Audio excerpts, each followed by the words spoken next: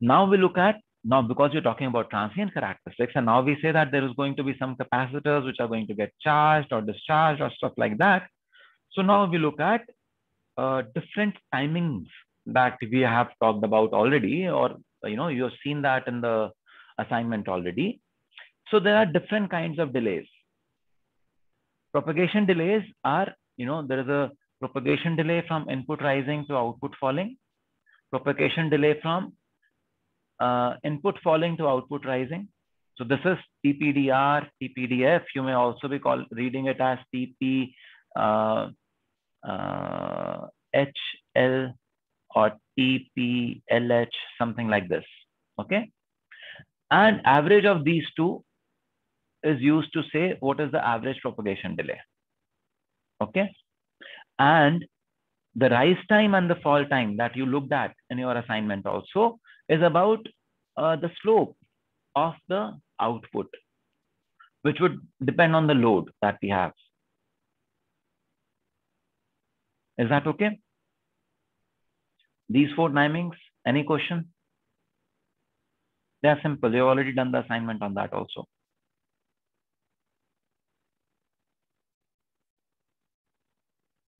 Hmm? Okay. So now there is another set of delays which are called as contamination delays. What do you think contamination delays are?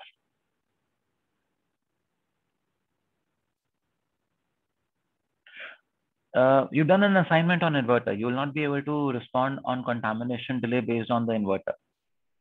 Let us consider a NAND gate. Now, can you think of a contamination delay?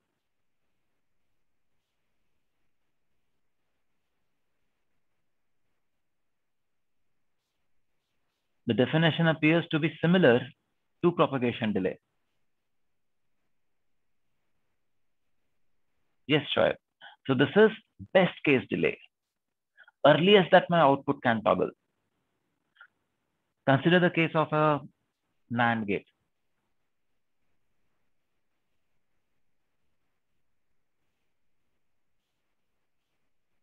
So we will go into this in more detail in a little while.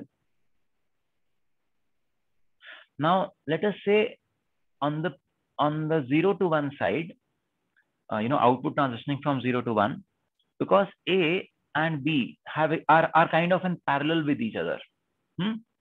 So the delays will always be the same. However, if, if just one of them is toggling, but what happens if both of them toggle together? So if one of them was toggling, either A or toggling or B toggling, this could be my output waveform. But when both toggle together, what happens? I have extra drive strength to, to charge this capacitor. And therefore, my delay, so my input would, would have been, let us say, input went low here. So my input to output delay now reduces. This lesser delay is called as contamination delay.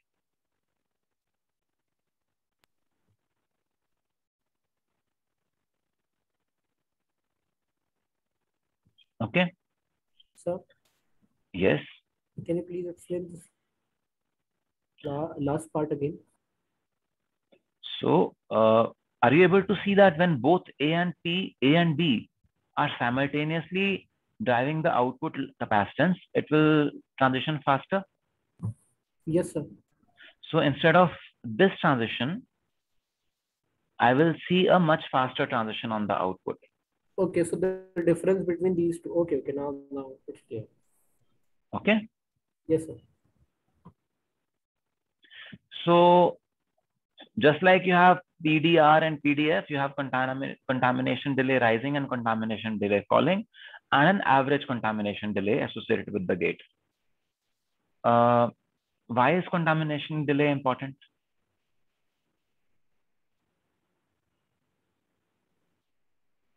Uh, sir, this determines the uh, speed at which the output switches. Hmm. So why am I interested in the shortest delay also? Typically, I should be interested in only the longest delay. Yes, sir. Even that is my question. I mean, shortest तो मिल जाएगा, but longest का तो हमें देखना पड़ेगा. Sir, No, whole time shortest की relation. बात क्यों कर रहे हैं? Why are we talking about shortest delay also? Someone was saying something. Sir, sir, qualifying the uh, combinational path delay requirements in a uh, syn- synchronous circuit would be Yeah, so usually you look at, uh, you know, longest delay paths. That is what you call the critical paths. Mm. So, Shoaib. Gagandeep, all of you are saying hold time also, huh? Deepank, yes. So contamination delay is important to uh, validate the hold time paths. You've done flip-flops? What is setup time and hold time of a flip-flop?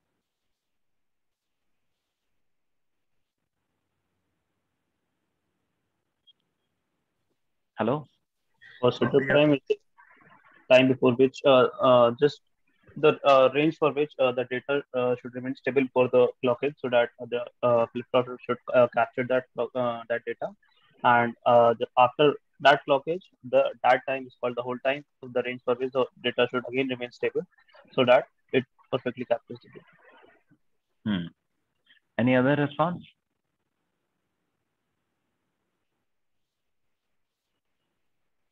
So BTech students, you also done the setup and hold times in your ELD and other courses? DC, ELD, BE. sir. Um, time of basically, I mean, we, the amount of time we will have to hold our D input constant before the rising clock edge. Hmm. And hold time is? And hold time is um, the amount of time after the clock edge for which D should be constant. So- Yeah. So now do you realize that the contamination delay can mean that your output can now change faster?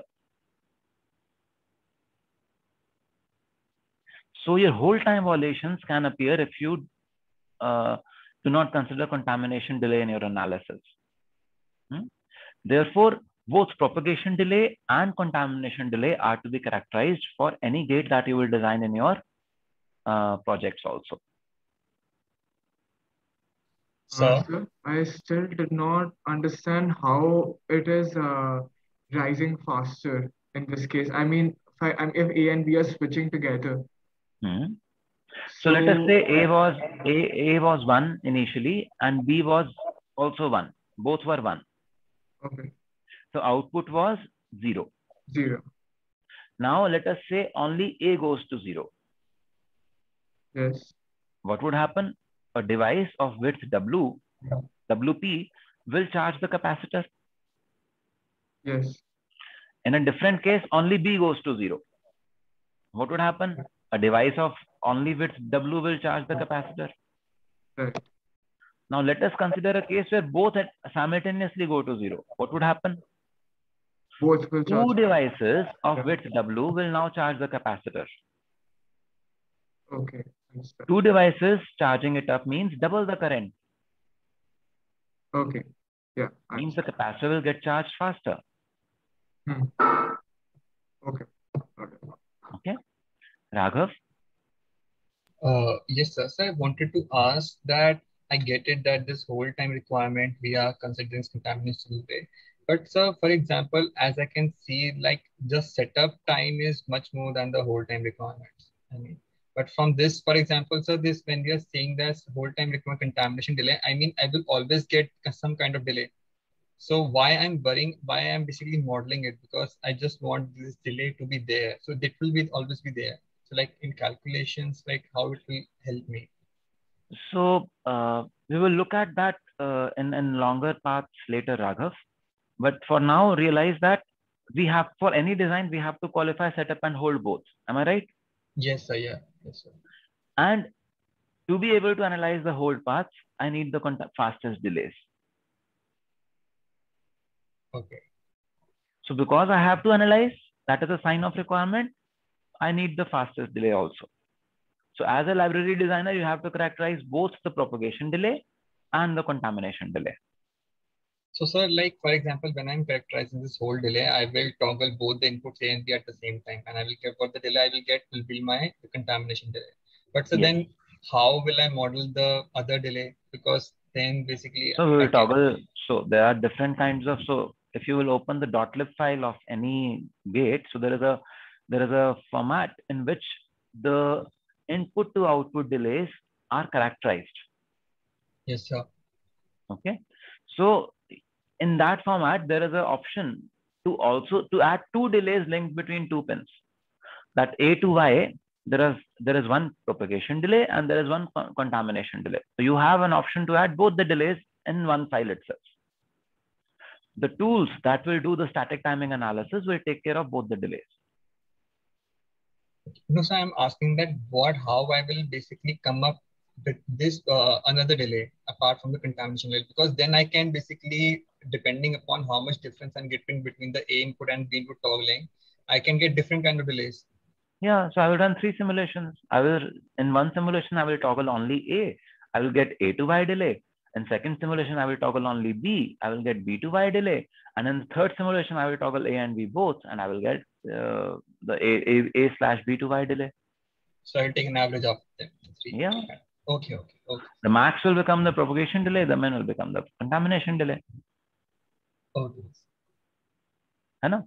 So either I do three simulations or I, I do, uh, I make my stimuli in such a way that in one simulation itself, I'm able to calculate all three of them. That is a, that is a choice every designer has. Okay. Uh, sir, Yes, Meher? again in this uh, example of NAND gate, so I understood that okay, now two devices are have charged the capacitor, but now when it when it has to discharge, right? So again, I mean, if now it's discharging through the NMOS, now how does having two NMOS um, in series help in faster discharging of the capacitor?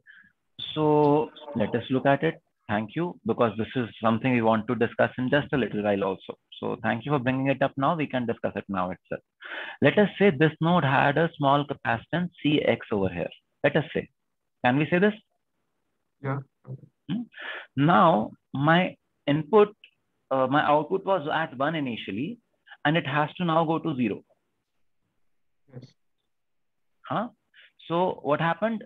Either of A or B was 0, which has now gone to 1 which means it has to discharge.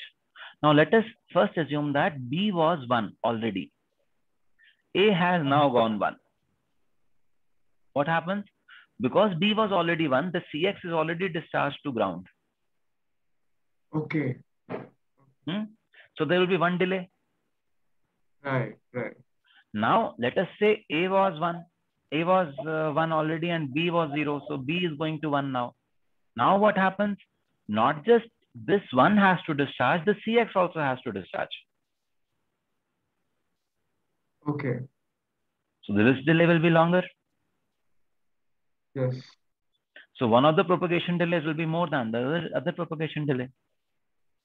So these capacitors like CX we have faced, it's um it's basically your according to your equivalent models, right? When we um study the equivalent mod- models for RC uh, in CMOS. Because yeah, is this diffusion capacitance, shared diffusion, finger devices, all that. You're talking about extra capacitances on source and drain, no? Yeah, yeah. Yeah, yeah. So that is exactly what we're talking about over here. Okay.